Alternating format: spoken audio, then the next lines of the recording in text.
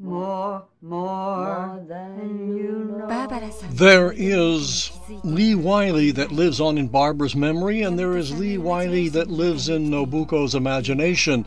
The two Lee Wileys sing together. Lately I find you're on my mind more than you know. Thank you. the, the composer does it three different ways. Uh, more than you know, and then more than you'd ever know, and then more than you'd ever know. That's that's because he's a good composer. これは I'm thinking of singing this song at the end of the year. I'll be sure to keep in mind what I learned today when I sing the song in December. 歌いたいと思います。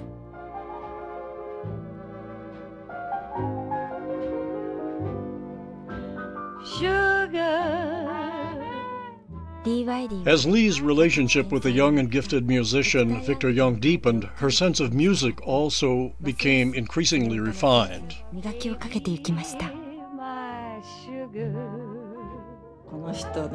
磨きをかけていきましたこの人ねいたビクト You know, I, I thought for a moment that Victor Young was Giuseppe Tommy. Well, that may not be altogether true, but it is true that there had been someone in Lee's life who influenced her and trained her, someone who told her to take lessons.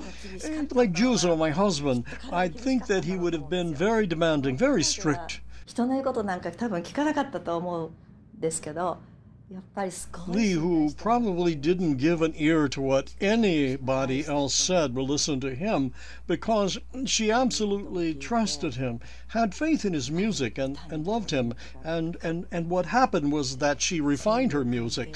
I could identify myself in that role, in that kind of relationship. Victor Young had been her mentor. Yes, I believe that's probably what it was. Lee's devotion to Victor led to an incident at the height of her career. By this time, a very popular star, Lee insisted on having Victor arrange all of her songs and making it a condition in her contract. However, Paul Whiteman, one of the leading producers and musicians of the time, refused to sign Victor. In an open display of dissatisfaction, Lee turned down the contract. Her attitude infuriated the great Whiteman, who put Lee Wiley's name on his blacklist. This meant that Lee was deprived of finding any work in all of New York City. The girl, who until but a short time before had been a big star, was all but chased out of New York. Lee dropped out of the public eye. まるで追われるようにしてニューヨークから姿を消します I'll see my dream 失意で体調 As her heart broke, so did her health. She went to a ranch and lived quietly out in the country. offers to do what she loved most of all to sing stopped coming completely. Uh, Finally, Lee headed to California where Victor was staying when the chips were down. Victor Young proved to be Lee's trusted ally, mentor, and an essential part of her life.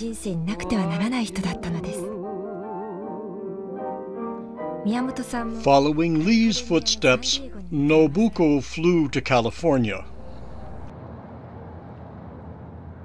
ここには Lee's brother and his family lived here in San Diego. 生涯子供を It is said that Lee, who had never had children, adored her nephews and nieces as if they were her own. Nobuko visited one of Lee's nieces, Theodora, who had spent her childhood with Lee.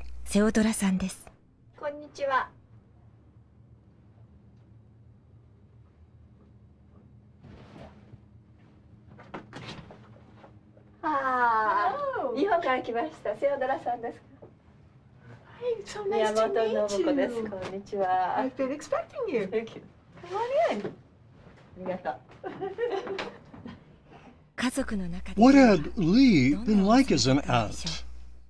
And I, I know with me, it seemed like every time I wanted to go to a show or I wanted to go see, I wanted to go see a play on Broadway about Lenny Bruce. And she said, he was a horrible man. He had a horrible mouth. and you shouldn't go. And I said, but it's a play. I should be able to go. I just, I want to see about him. It's not really him. But I, I miss her a great deal. I would like to ask her things sometimes. She's sure to be around somewhere. she's around somewhere. I know, I know. um.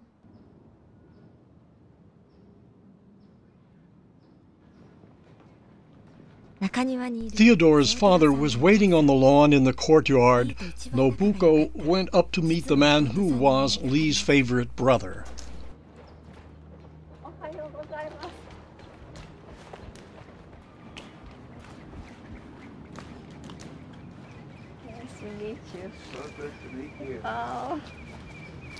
Finally. Ah, Ted Wiley, Ted Wiley is 89 years old. He is Lee's youngest brother.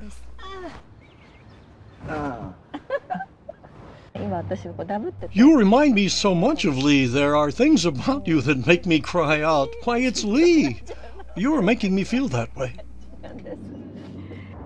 There's one thing about Lee. When she made a friend, you were a friend for life. She was that kind. She was a very true person. It was good to be around her. It was easy, very informal. Uh, she'd do anything for you, you know, make you feel comfortable. Or,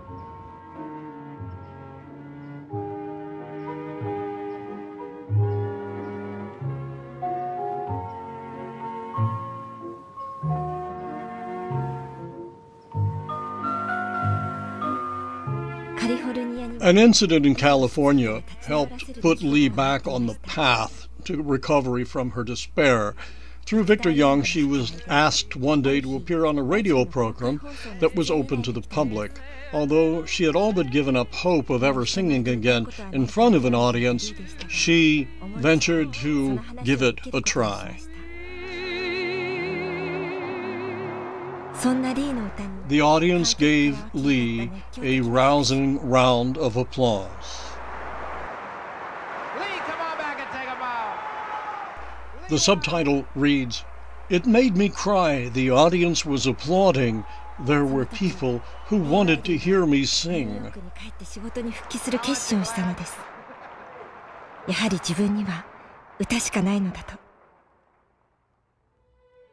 Lee returned to New York after an absence of nearly a year and a half. No one, however, came to meet the one time great star.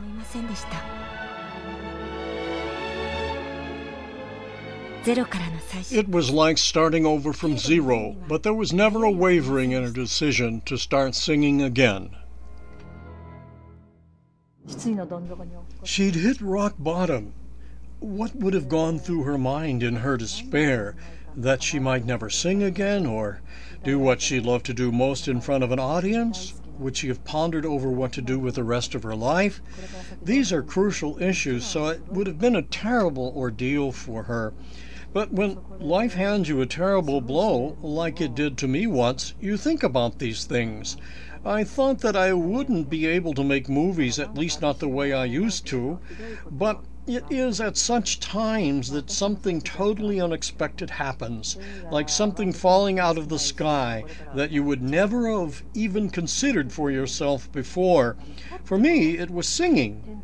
If Juzo had been alive, I would never have sung a duet with Kei Ogura on his television program. Juzo would have advised me not to do it, and I probably would not have. But at that critical time in my life, I decided to give it a try. So I took lessons. Me, who had never sung in front of people and never even had tried karaoke. But when I sang, I was genuinely surprised, and it was a refreshing feeling. I hadn't known there was something in the world that was so much fun. So I discovered a new world outside of acting, which remains, of course, an important world for me, but a new world that I found just after life had delivered me a cruel blow. It turned out that this was something that I could keep on doing and intend to keep on doing.